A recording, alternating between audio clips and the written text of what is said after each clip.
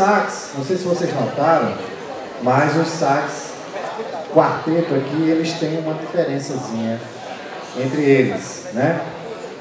Nós temos aqui o sax, ele foi inventado por um belga chamado Adolf Sax. Coisa boa, né? Botou o nome dele no, invento, né? O sax soprano, que é o mais agudo, né? O sax ele é pensado nas vozes humanas. Então tem o coral, o coral tem soprano, contralto, tenor, baixo, quarteto clássico, né? Então aqui no, no grupo de sax você tem o sax soprano, que é a voz aguda da mulher.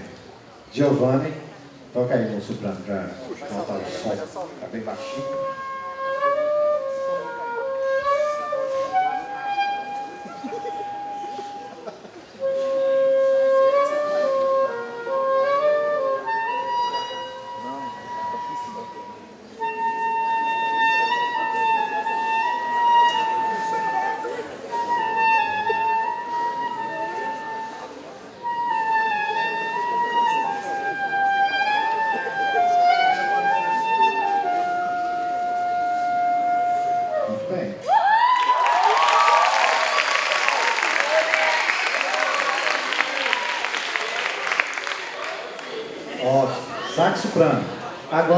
O sax alto, que é o contralto, né, a voz grave da mulher.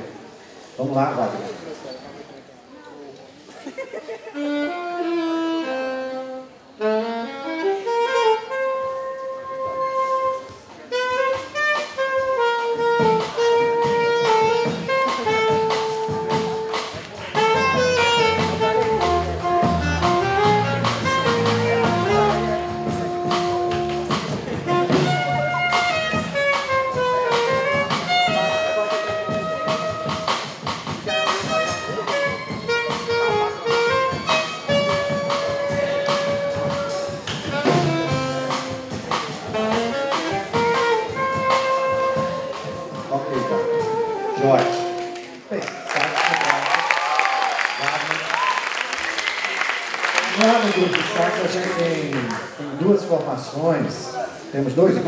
que é o mesmo grupo quando precisa. Então teve alguns que não, não puderam vir hoje aqui.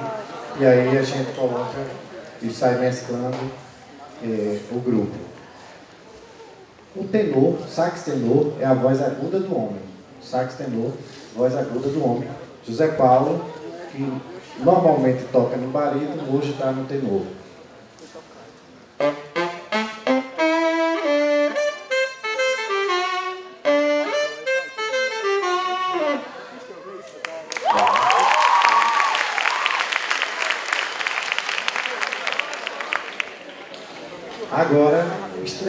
Barítono, o primeiro grupo é o Alisson Andrade. O barítono não é o baixo, nem é o tenor, é uma voz intermediária, né? muito utilizada também. Mas funciona como baixo no grupo de sax.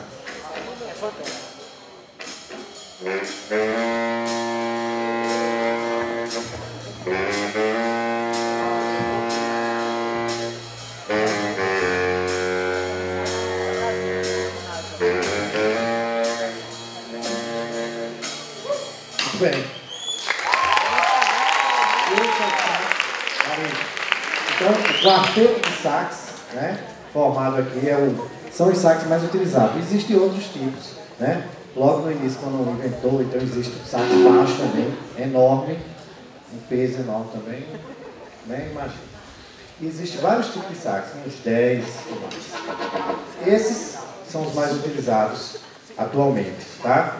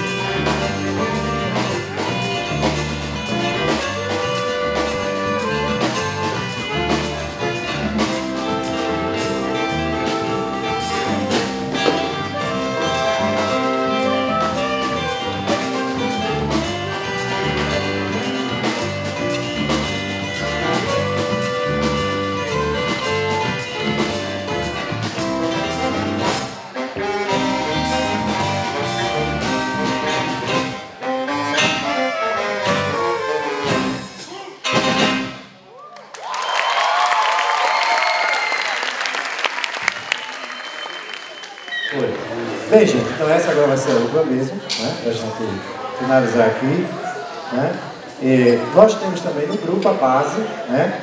Então, e temos alunos tanto do curso de música como também é, de outros cursos e da extensão da comunidade. A gente oferece também aulas de extensão e, e de outros campos, né? Na guitarra, Paulo Vitor, que é do campus Cabedelo. Olha, Paulo.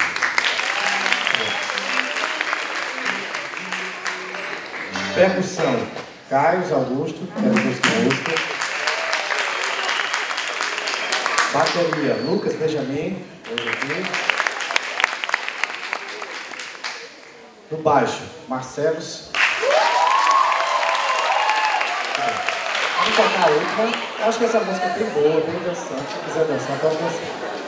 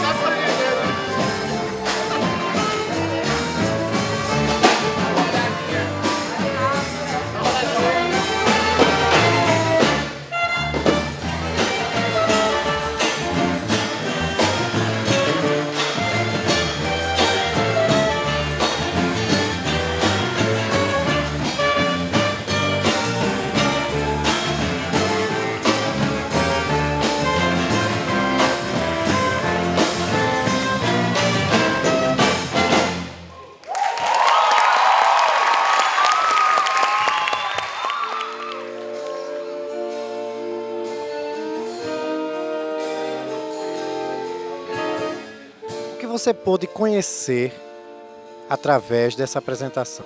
Conhecimento também da, da, da, música instrumental, que é muito importante a gente ter esse conhecimento, também um pouco mais dos instrumentos, que a gente não sabe muito sobre esses tipos de instrumentos. Né? Justamente, muitas pessoas têm o desejo né, de conhecer um pouco mais da música, mas não tem tanta acessibilidade. Isso é uma, uma boa boa pedida. Os alunos aqui, eles gostaram, certo? participaram, né? E eu acho que assim, é bastante proveitoso para o aluno e isso deve ser levado para ser divulgado para todos os IFs. Essa, essa música, né? Porque é uma música que é diferente e os alunos eles não estão habituados a escutar esse tipo de música dentro da, da instituição.